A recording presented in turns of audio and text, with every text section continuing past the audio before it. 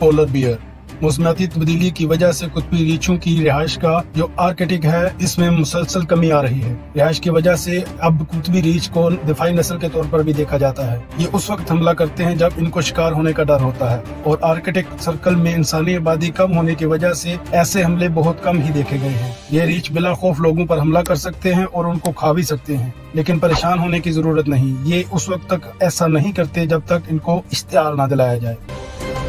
Thank you.